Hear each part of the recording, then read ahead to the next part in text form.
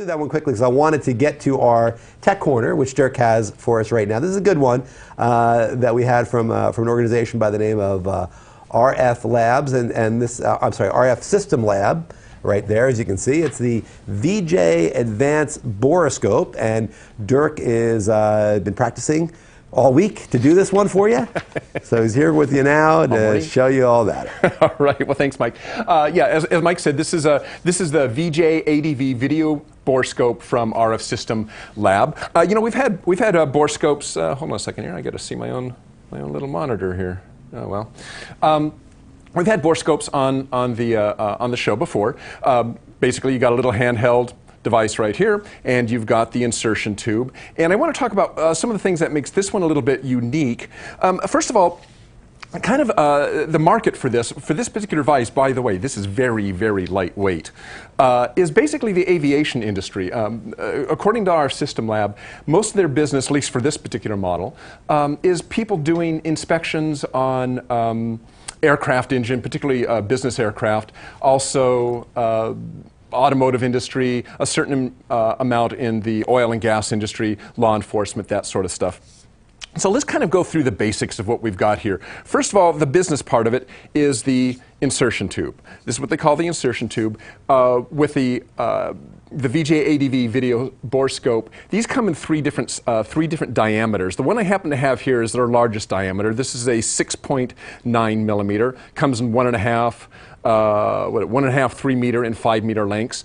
Their most popular size is the 3.9 millimeter model. This is the one that use, gets used in aviation quite a bit, one and a half and three meters. But the one that's really surprising is the um, is the one that um, is 2.8 millimeters in diameter. Now, 2.8 millimeters is about a ninth of an inch. It is the smallest fully articulated uh, insertion uh, insertion tube um, uh, in the world. And if you think about it, uh, by the way, the way these work, if we can go to the gauge cam right here, and hold on one second, I got to turn on my, something happened on my monitor right here. Uh, hold on a second, one, guys. I got to see what I'm doing, so I'm just going to step out of the camera here a little bit so I can. All right, there we go. Sorry about that. Okay, so I mentioned that this is a the the, the 2.8 millimeter is the fully articulated. Uh, all of these are fully articulated insertion tubes. So what we mean is that when you're controlling one of these, you got this little joystick right here that allows you to move the allows you to move the tip around. Very often, uh, these are controlled using, uh, using servos. Uh, in this case, it is a direct mechanical linkage. So if you think about a 2.8 millimeter uh, diameter insertion tube, all the linkage still has to fit within that 2.8 millimeter along with the optics and everything. So it's pretty amazing that they can do something like that. Uh, the insertion tube is 100% waterproof, uh, immersible, uh, oil and uh, oil and um, fuel resistant. Uh, the handheld part of this itself is uh, water uh, water resistant but not waterproof, so something to keep in mind. So let's kind of just step through the interface here a little bit. If we look at uh, if we look at the interface, we've got two buttons on the back side. One of these controls the brightness of the LED. One of them controls video on and off. We'll get to that a little bit. Very simple touch panel uh, control and a little flip up a little flip up screen. There's also a hood that can go over this if you're outside and you need to kind of block the light a little bit. And let's go ahead and take a measure or, or do a, some inspection. Now, obviously, um, I don't have anything that requires a one meter probe, but um, I do have a little device here that we can stick a probe into. And let me just steer the tip to where I want to look at, and I believe I'm looking at right there. I can control the brightness of the LED. Let me get that where we need it, a little bit too bright. There, that should do it. And now you can see you're looking at a video image of the inside of this mechanical part, and you can see that getting a very nice image out of that. Now suppose I wanted to record that. I could hit the record button with my thumb, was right over here on the left hand side, and now we're recording this image. And now I can record this when I'm done recording.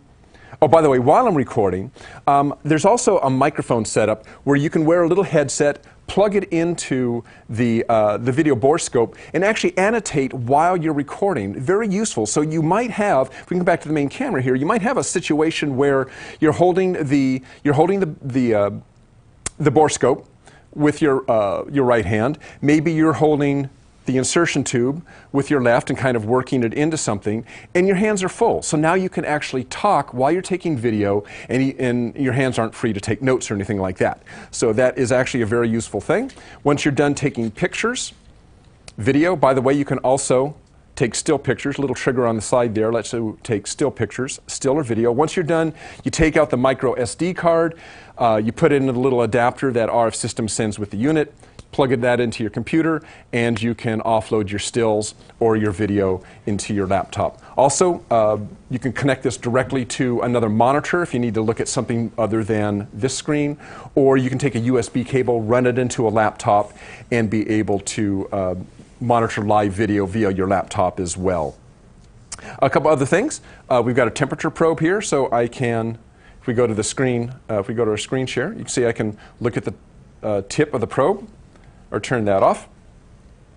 We can also, um, oh, before we wrap up, the last thing I want to do, double A batteries. This is something it seems interesting. Everybody's using uh, like you know nickel metal hydride or uh, lithium ion batteries in all their devices because they're lightweight. They last a long time. The problem is that if you're out in the field and you haven't charged your battery, you you've run it down. Now what do you have to do? You have to go somewhere you can charge your battery. How nice is it to be able to go to your local Quickie Mart and buy a couple AA batteries or a service station, buy a couple AA batteries, put them back in the equipment, and you're good to go. This was actually a conscious decide, uh, design decision by RF System Lab to make it use AA batteries so that their guys out in the field who are using this aren't caught short when their bespoke batteries go dead. They don't have to recharge them. So the cost of this is about 9,300 to $13,500 depending on the type of insertion tube, the diameter and the length of the insertion tube that you use. So uh, 9,300 to 13,500. Uh, again, this is the VJ ADV video borescope from RF System Lab. And uh, thanks, guys, for sending that to us. By the way, like I said, did I mention? Really light. I was really surprised at holding this thing. So thanks, guys, for sending this to us. And Mike, back to you.